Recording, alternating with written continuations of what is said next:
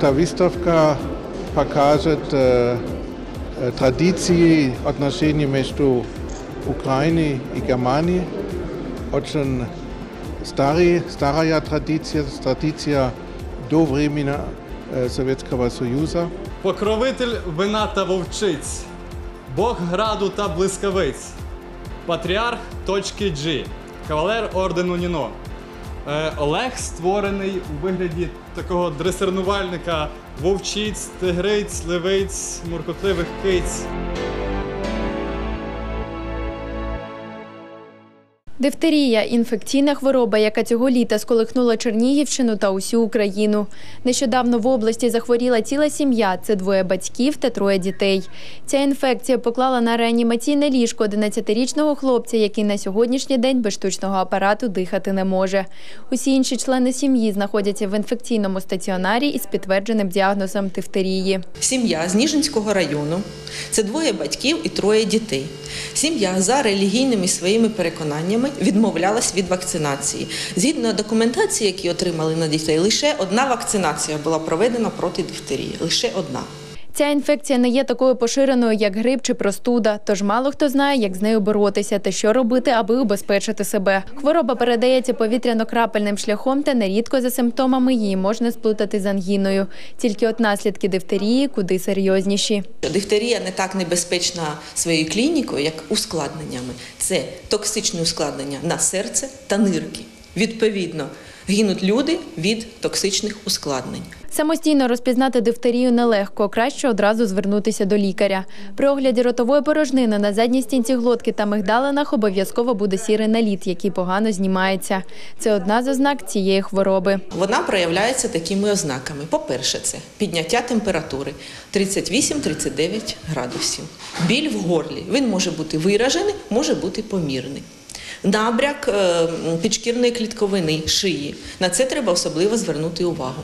Лікарі кажуть, що основний метод лікування інфекції це дифтерійна сироватка. Іншого способу ще не винайшли.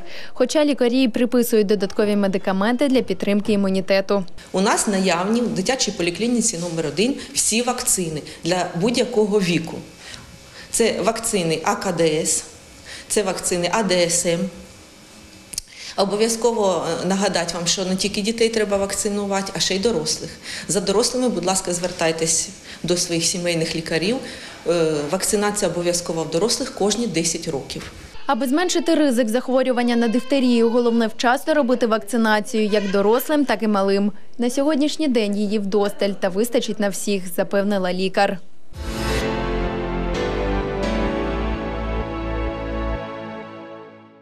Патрульні поліцейські об'єднали зусилля разом із активістами та молоддю міста у боротьбі проти наркоманії. Так, полісмени за допомогою фарб замальовують на стінах будинків електронні адреси, за допомогою яких можна придбати наркотичні засоби.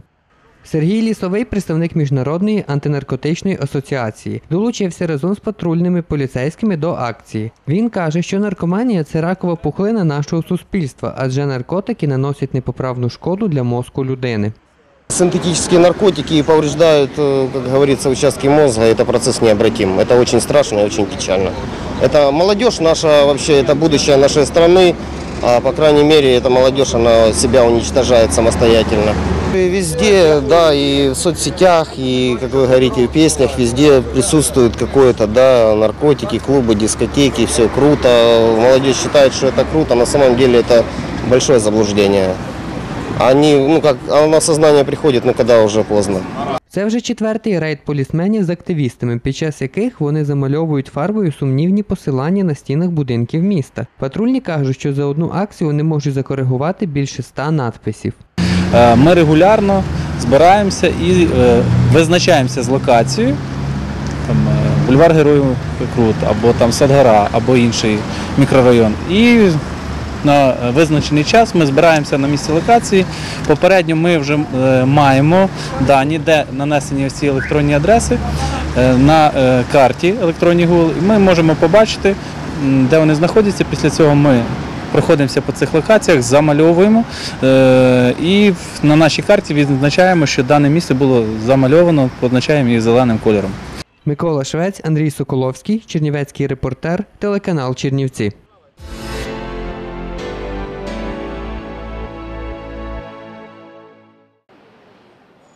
Бібліотекар, хоч професія інтелігентна, та от мало оплачувана. Віра 15 років працює в бібліотеці на половину ставки. Зараз її заробіток 2200 гривень у місяць.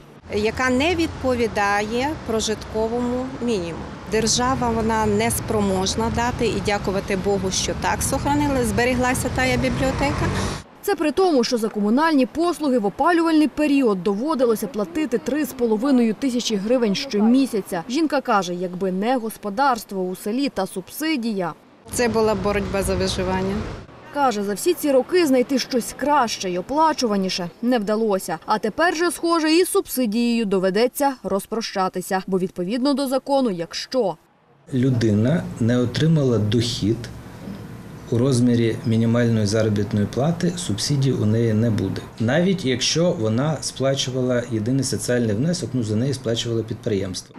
Відтак працюєш на півставки, не отримуєш і мінімалки, а в доходи тобі зараховуватимуть три прожиткові мінімуми. Лякає віру й те, що через місяць один із синів досягне повноліття. Моє дитя закінч... після закінчення е, коледжу неофіційно працевлаштований. Тож йому зараховуватимуть у якості доходу три мінімалки. Звісно, тільки тоді, якщо хлопець не зареєструється у центрі зайнятості. Юристи кажуть, з одного боку законотворці так думають вивести економіку з тіні. Дуже багато хто е, набирає працівників, які по факту працюють на цілу ставку, отримують заробітну плату значно е, більшу ніж мінімальну, е, але працівники оформлені на півставки, так би на меншу зарплату навіть ніж мінімальна. Та й не всі, хто на півставки працюють, мало отримують. А якщо ще й чесно доходи свої показують, то за субсидію, мовляв, переживати нічого. Це вже в управлінні праці та соціального захисту населення кажуть. Якщо особа працює не на повну ставку, вона може отримувати е, заробітну плату більше мінімальної. У нас є високі оклади, високі доплати до, до тих окладів у деяких категорій осіб. Та з іншого боку, є чимало й тих, хто дійсно виживає. Законодавець не врахував те, що насправді дійсно є люди, які працюють на ту ж півставку, на ту мінімальну якусь зарплату, навіть менше ніж мінімальної. І от вони вийшли за заручниками такої ситуації. У Віри ж надія отримати субсидію таки є, бо живе в селі і сама виховує двох синів. Люди, які знаходяться в тяж- тяжких життєвих обставинах на розгляд комісії, їм можуть рахувати їхні фактичні доходи, як їхні доходи за місяць. В таких випадках людина повинна до комісії звернутися з заявою, і якщо в неї є якісь підтверджуючі документи, І рішенням комісії їм можуть призначати е, відповідну субсидію.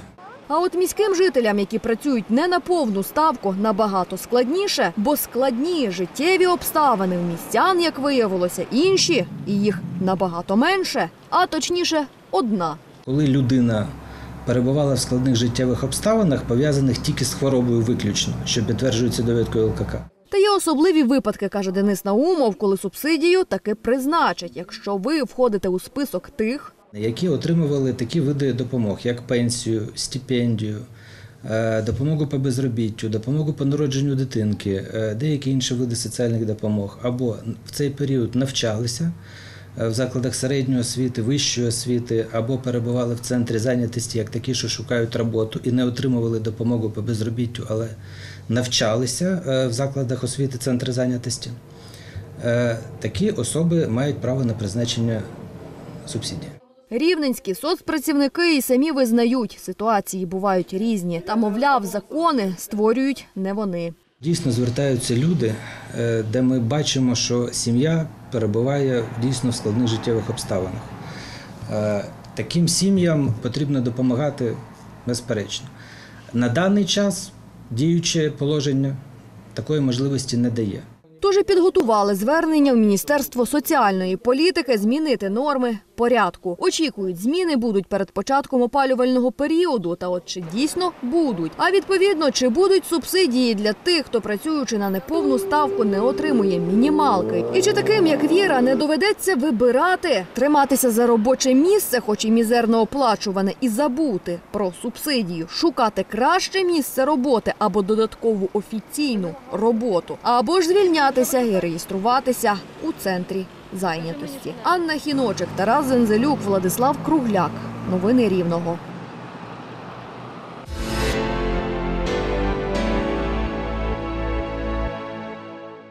Такие выставки очень важны, отметили чрезвычайный и полномочный посол Республики Польша в Украине. Я думаю, що вони дуже потрібні.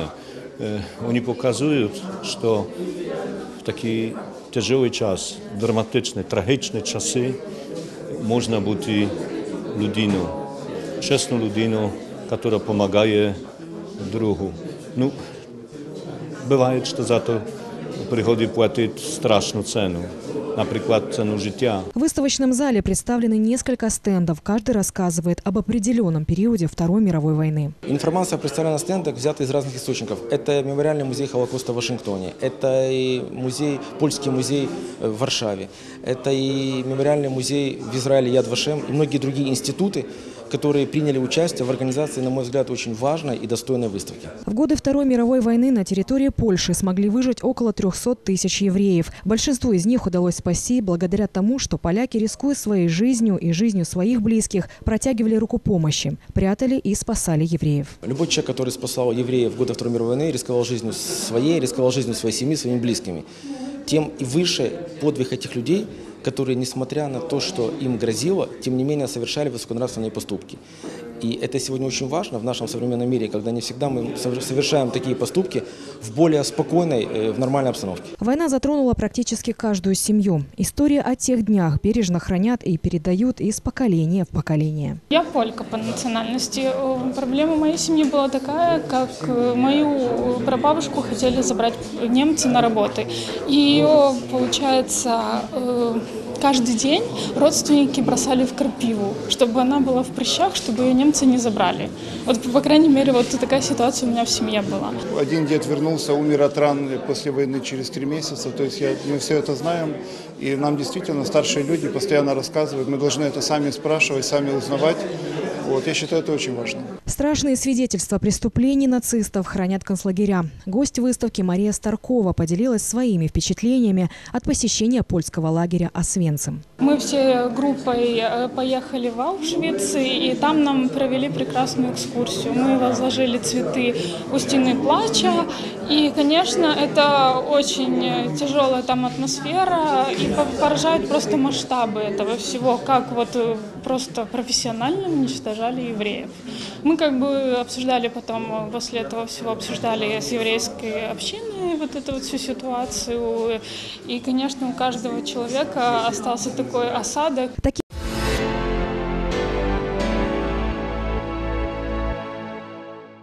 У Дніпрі городян запрошують по-новому відкрити для себе незвичний світ німецької культури. В місті відкрилась унікальна мобільна виставка, присвячена життю вихідців з Німеччини в Україні. В експозиції представлені світлини, документи та проілюстровані карти, які розповідають про історію та життєвий шлях німців в країні, яка стала для них другою домівкою. Эта выставка создана, так сказать, э, по инициативе, так сказать, э, бывших немецких, так сказать, э, наследников бывших немецких иммигрантов, которые жили. Хочу сказать, что у нас в тогдашней Екатеринославской губернии она очень тесно связана с немецкими колонистами. Если кто не знает, скажу, что, вот, например, тот же самый Рыбальск, это м, поселение, когда туда еще в конце э, 19 в начале 19 века переселялись, так сказать, э, немецкие колонисты специально для того, чтобы, ну, скажем так, оживить экономику тогда такой упаднического, такой Екатеринославской такой губернии. Вот. И впоследствии это имело место, появились фабрики, заводы. Виставка поєднує в собі історію німецьких переселенців в Україні від кінця 19 століття і до 1939 року. Весь величезний пласт інформації вмістили на 24 стендах, впорядкованих за темами і представлених двома мовами німецькою та українською. Головна мета цієї виставки показати, яку роль відігравали переселенці в економічному, політичному та культурному житті тодішньої України. Эта выставка покажет э, э, традиции отношений между Украиной и Германией.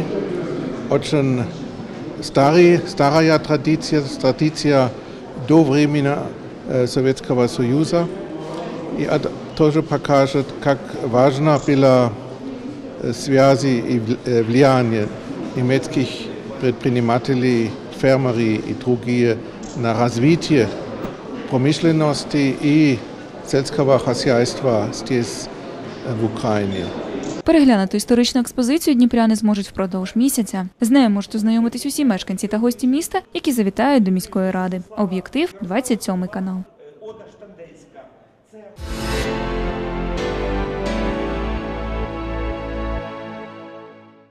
Це рельси,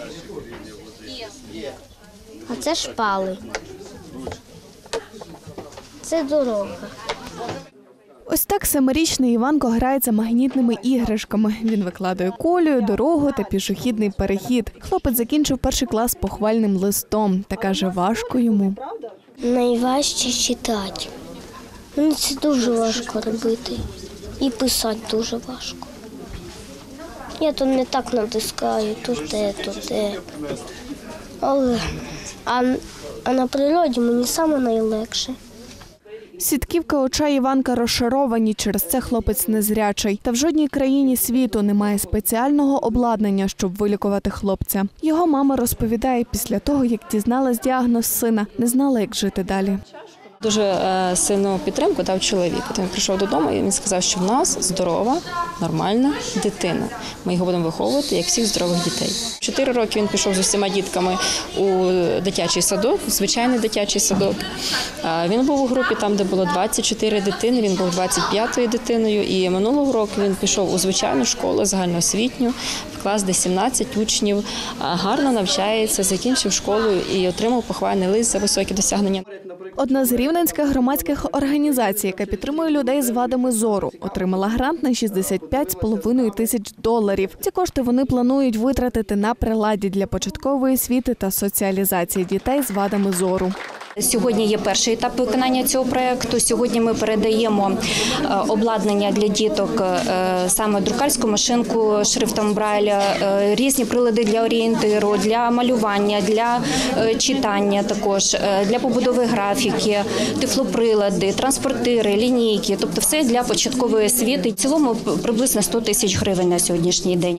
За словами керівника проекту, решту коштів вони витратять на закупівлю приладів виготовлення навчально-методичних матеріалів, 3D-друк та навіть на обладнання спеціальної студії звукозапису. Такі прилади є необхідними, бо Рівненщина налічує близько 1300 дітей з вадами зору. Дарина Гапонюк, Владислав Кругляк. Новини Рівного. всі потрошки, що ми, що рої попиво, управління.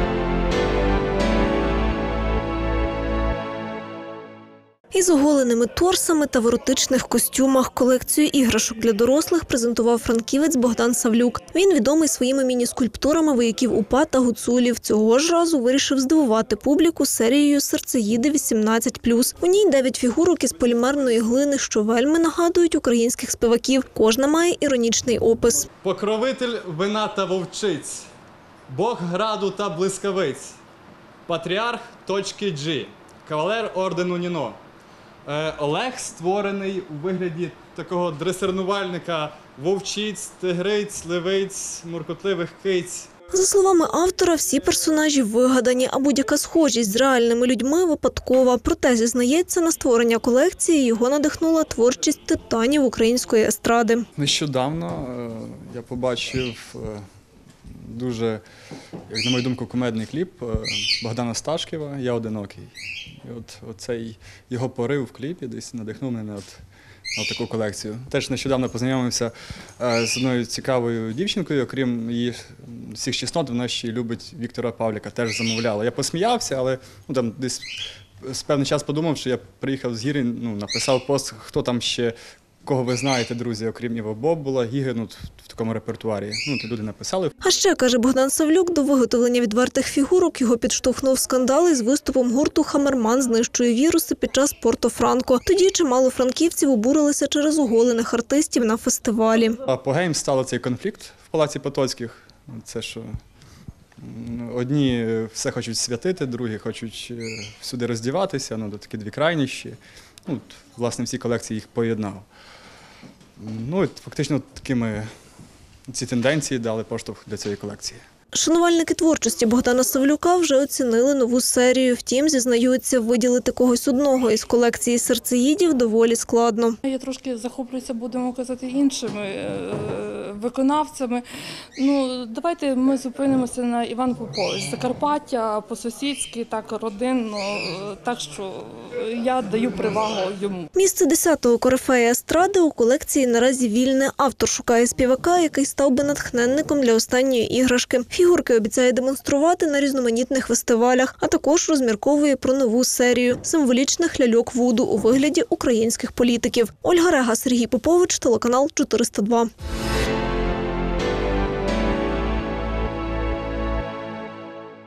Всеукраїнський чемпіонат зі стрільби з лука серед юнаків та дівчат вперше стартував у Чернігові. На стадіоні Хімік 56 учасників з семи областей мають продемонструвати свою влучність і вибити найбільше очок з дистанції у 60 метрів. Спортсмени е, в одну серію стріляють 6 пострілів і рахується відповідно 10, 9, 8, 7 та так далі.